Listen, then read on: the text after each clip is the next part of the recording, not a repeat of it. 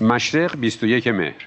سعدالله زارعی از مهرهای باند خامنه خطاب به عناصر این باند نوشت از آنجا که یکی از اهداف اصلی آمریکا ایجاد شکاف در جامعه ایرانی برای پذیرش تحمیل های بعدی است اصولگرایان خود انتقادی را به زمان دیگری موکول کرده و نشان دهند که تهدید جدید آنها را همبسته تر کرده است. در این بین اصولگرایان باید بیش از طیف های دیگر خیشتندار باشند. واقعیت اقتصادی کشور را برای مردم توضیح دهیم. ادبیات متمایزی که رئیس جمهور در سازمان ملل بگوید ما بالاترین رشد اقتصادی جهانی را داریم و دو هفته بعد سخنگوی دولت بگوید پولی برای خرید محصولات کشاورزی نداریم را کنار بگذاریم. روزنامه صبح نو 19 مهر.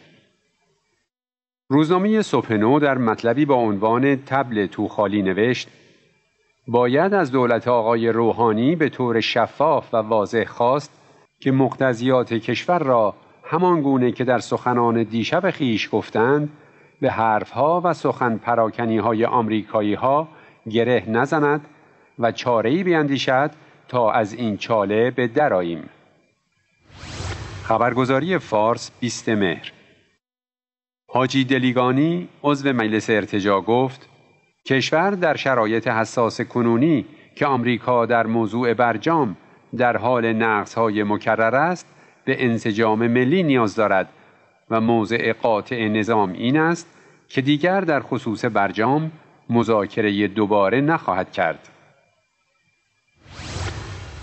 رسانه ها و مهره های باند روحانی و شرکایش علاوه بر حمله باندی بر ادامه مسیر زهرخوران و برجام توصیه کردند.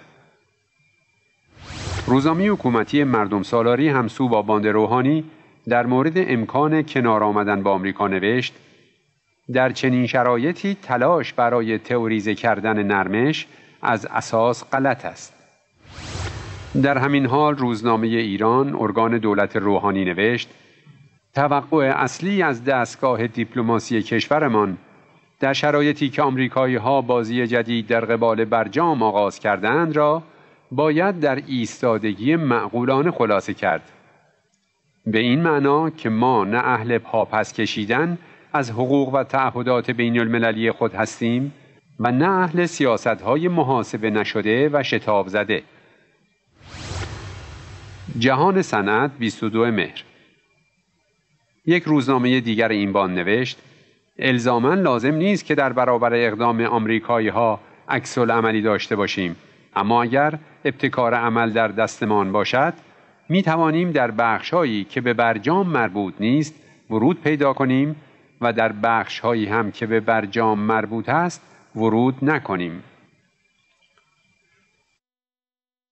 سایت اصر ایران 20 مهر یک سایت حکومتی از باند روحانی نیز نوشت افرادی که در ایران صبح تا شب به آمریکا حمله می کنند حداقل همکنون از این بابت باید خوشحال شوند اما آنها برخلاف کل جهان به جای حمله به ترامپ نوک حملات و انتقادات خود را به سمت روحانی قرار می دهند.